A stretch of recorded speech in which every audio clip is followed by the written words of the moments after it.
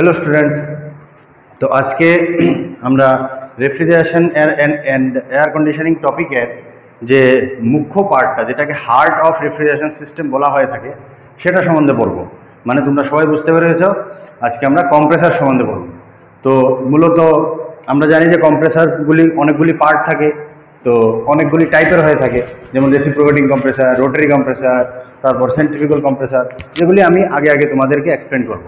তো সেই কম্প্রেসারগুলির মধ্যে প্রথম যে কম্প্রেসারটা আমরা পড়ব, সেটা হচ্ছে রেসিপ্রোকেটিং কম্প্রেসার যেটা হচ্ছে আজকের টপিক রেসিপ্রোকেটিং কম্প্রেসার তো প্রথম আমরা নামের মিনিংটা সম্বন্ধে জানব। রেসিপ্রোকেটিং কম্প্রেসার কম্প্রেসার তো বুঝতে পেরেছি যেটা কম্প্রেস করবে। তো এখন তার নাম রেসিপ্রোকেটিং কীভাবে আসলো, সেটা আমরা জানব।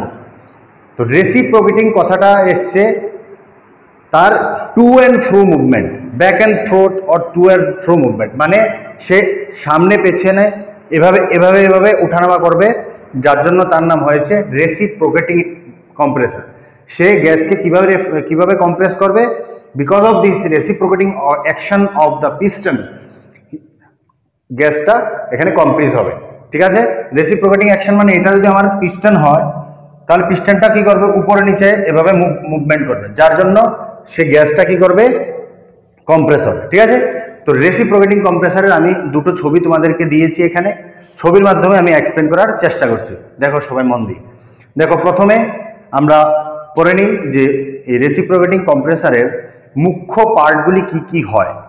তো এটা যদি একটা রেসিপ্রোকেটিং কম্প্রেসারের ক্রস সেকশনাল ভিউ হয়, তো তাহলে প্রথমে এখানে আসছে সাকশন পোর্ট সাকশন মানে আমরা জানি সাকশন মানে এখান দিয়ে টানবে সাকশন তারপর আছে সাকশন বাল্ব তো সাকশন যখন গ্যাসটা এখান থেকে সাকশন করবে, তখন তাকে কন্ট্রোল করার জন্য এখানে একটা বাল্ব থাকে, হালকা ছোট্ট একটা পাতলা প্লেটের মতন, যেটা এভাবে উঠানামা করে নিচের দিকে।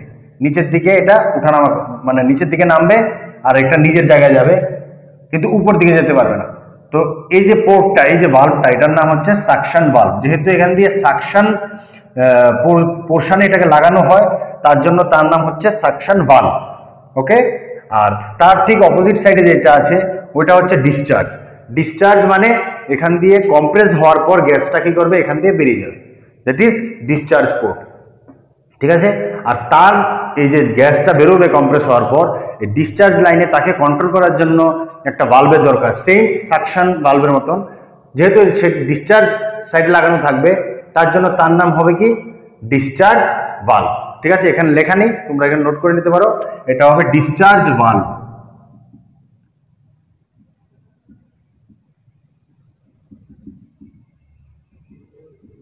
okay discharge bulb থাকবে।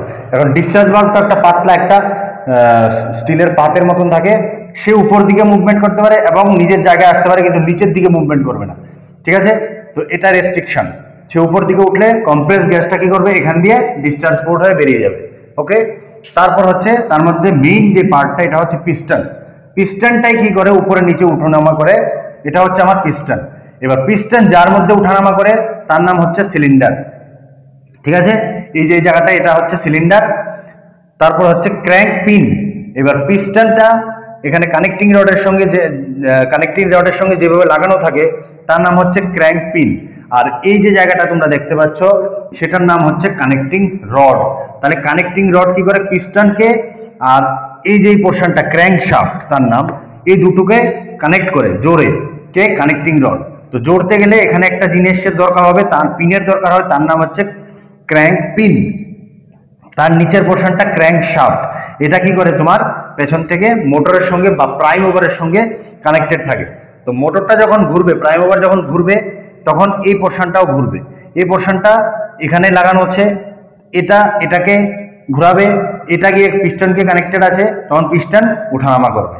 তো যখন এখানে আমি দুটো ছবি তোমাদেরকে দিয়েছি, তার মধ্যে যখন পিস্টন এই যে পিস্টনটা একদম উপরের পজিশনে থাকবে মানে গ্যাস কম্প্রেস হয়ে গেছে উপরের পজিশন তখন তার নাম হচ্ছে টপ ডেড সেন্টার যেটাকে শর্টে বলা হয় টিডিসি টপ ডেড সেন্টার বলা হয়ে থাকে, ঠিক আছে? এই টপ ডেড সেন্টারে যখন পিস্টন থাকবে, তখন যদি বলা হয় যে পিস্টন টপ ডেড সেন্টারে আছে দ্যাট মিনস পিস্টন গ্যাসকে কম্প্রেস করে একদম উপরে পজিশনে আছে, আর তখন এই দুটো বাল্বের মধ্যে ডিসচার্জ বাল্বটা ওপেন থাকবে। ডিসচার্জ বাল্ব ওপেন থাকার ফলে কি হবে? রেফ্রিজারেন্টটা কম্প্রেস যে রেফ্রিজারেন্টটা ওইটা কি করবে? ডিসচার্জ পোর্ট দিয়ে বেরিয়ে আমার কন্ডেন্সারে যাবে। ওকে তখন কিন্তু সাকশন পোর্ট খোলা থাকবে না। ঠিক আছে? সাকশন পোর্ট তখন কি করবে? নিজের জায়গায় থাকবে, বন্ধ থাকবে। তার জন্য আমি বলেছি, সে নিচের দিকে আসতে পারবে না। বা সে নিচের দিকে সরি নিচের দিকে আসতে পারবে, উপরের দিকে যেতে পারবে না। সে তার পজিশনে থাকবে। তখন কম্প্রেস গ্যাসটা কি করবে? এখান দিয়ে না বেরিয়ে এখান দিয়ে বেরোবে। কারণ তার মুভমেন্ট উপরের দিকে আছে, এই ডিসচার্জ ভাল্বটার যার জন্য রেফ্রিজারেন্ট এটাকে উপর দিকে খুলে এখান দিয়ে বেরিয়ে যেতে পারবে। কিন্তু এটা আবার নিচের দিকে আসতে পারবে না। তাহলে আমরা কি বুঝলাম? সাকশন ভাল্বটা নিচের দিকে আসতে পারবে উপর দিকে যেতে পারবে না। আর ডিসচার্জ ভাল্বটা কি করবে? উপরের দিকে যেতে পারবে, নিচের দিকে আসতে পারবে না। তো এটা top dead centre top dead centre কি হবে? পিস্টন উপরের দিকে থাকবে গ্যাস কম্প্রেস হওয়া অবস্থায় থাকবে। তাহলে এখানে আমরা এই পার্টগুলির নামগুলি দিয়ে দিয়েছি, তোমরা নোট করে নেবে। আর এটা হলো কম্প্রেস কম্প্রেসারে যখন গ্যাস কম্প্রেস অবস্থা হবে পিস্টন উপরে থাকবে টপ ডেড সেন্টার এবার তার বিপরীতটা আমরা বলি, যখন পুরোটাই খালি থাকবে কম্প্রেস থাকবে না পিস্টনটা একদম নিচে থাকবে তখন তার নাম হবে বটম ডেড সেন্টার বা শর্টে শর্টে বলা হয় বিডিসি টিডিসি বিডিসি ঠিক আছে? বিডিসি মানে বটম ডেড সেন্টার তখন কি হবে? পিস্টন একদম নিচে থাকবে সিলিন্ডারের একদম নিচে পজিশনে আসবে। তো যখন এভাবে টানবে, তখন তোমরা দেখো ইঞ্জেকশনের সিরেঞ্জকে যখন আমরা পেছন দিকে টানি, তখন কি হয়? তখন তার মধ্যে লিকুইডটা আসে। মানে সে সাকশন করে। তো এখন কি হবে? যখন পিস্টন নিচে আসে পুরো সিলিন্ডারের তখন সাকশন পোর্ট দিয়ে এখানে রেফ্রিজারেন্ট ভ্যাপার রেফ্রিজারেন্ট ঢুকবে। ঢুকে এই জায়গাটাকে ফিল করবে। তখন কে খোলা থাকবে? তখন সাকশন পোর্ট খোলা থাকবে। সাকশন পোর্ট খোলা থাকার ফলে কি হবে? রেফ্রিজারেন্টটা এখানে ঢুকতে পারবে। তখন আবার এটা কিন্তু বন্ধ থাকবে মানে ডিসচার্জ পোর্ট কিন্তু বন্ধ থাকবে। তখন রেফ্রিজারেন্ট এখান দিয়ে এখান দিয়ে ঢুকে এখান দিয়ে বেরিয়ে যেতে পারবে না, ওইখানে গিয়ে ধাক্কা খেয়ে আবার নিচে আসতে হবে। যখন এই সাকশন পোর্টটা হচ্ছে, তখন পিস্টনের পজিশন কোথায় থাকবে? একদম নিচে, যাকে আমরা বলি বটম ডেড সেন্টার তখন তোমাদের মাথায় একটা কোশ্চেন আসতে পারে, যে পিস্টন একবার উপরে গেল আর একবার নিচে আসলো। তো তার মাঝখানেও তো থাকতে পারে। হ্যাঁ অবশ্যই।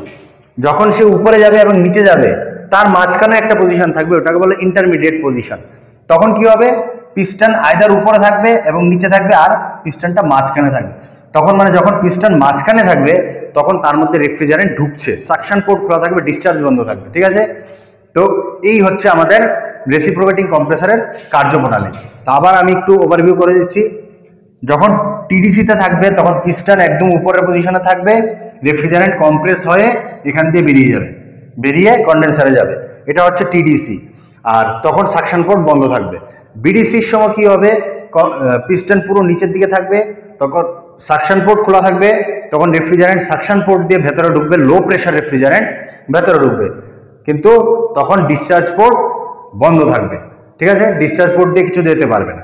তো এখন তোমাদের একটা কোশ্চেন হতে পারে, যদি এই ডিসচার্জ পোর্টটা খারাপ হয়ে যায় বা এখানে সাকশন পোর্ট খারাপ হয়ে যায়, তখন কি হবে? দেখো, যখন যদি ধরো এই ডিসচার্জ পোর্টটা আমার খারাপ হয়ে গেছে, তখন লো প্রেশার রেফ্রিজারেন্ট এখান দিয়ে ঢুকবে, ঢুকে জায়গাটা ফিল করার পর এখান দিয়ে গিয়ে ডিসচার্জ পোর্ট দিয়ে বেরিয়ে এখানে চলে যাবে। তো যেটাকে বলে শর্ট সাইক্লিং মানে গ্যাস শর্ট হয়ে গেল। লো প্রেশারে এসে এখান দিয়ে ঢুকে কম্প্রেস হওয়ার আগেই এখান দিয়ে বেরিয়ে কন্ডেন্সারে ঢুকে যাবে। তাহলে কি হবে? কম্প্রেসারের পাম্পিং ঠিকভাবে হবে না। ঠিক আছে? কম্প্রেসার এখানে ফল্ট করবে। যদি আমার ডিসচার্জ পোর্ট খারাপ হয়ে যায়, তখন এখান থেকে যে গ্যাসটা কম্প্রেস না হয়ে লো প্রেশার হয়েই কন্ডেন্সারে চলে যাবে। তো তাতে আমার রেফ্রিজারেশন সাইকেল কাজ করবে না। এখানে শর্ট সার্কিটে সাইক্লিং হয়ে যাবে।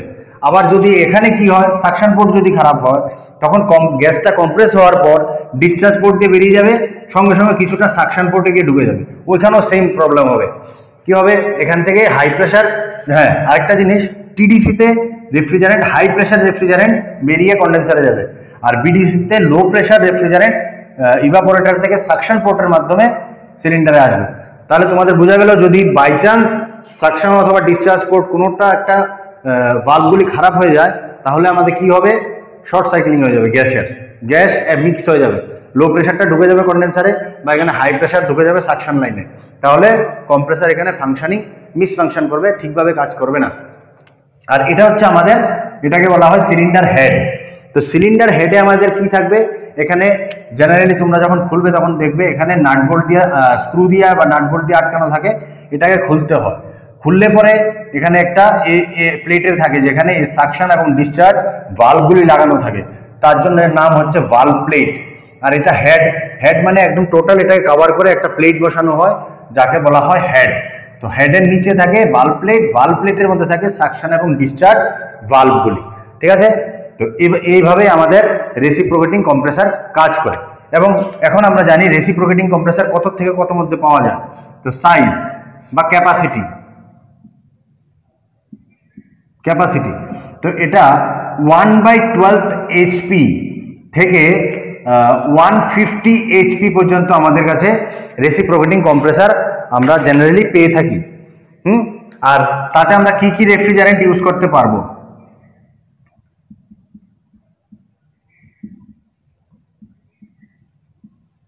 তো জেনারেলি রেসিপ্রোকেটিং কম্প্রেসারের মধ্যে আমরা আর টোয়েন্টি টু আগে হতো আর টুয়েলভ আর ইলেভেন এগুলি এখন আর ইউজ হয় না।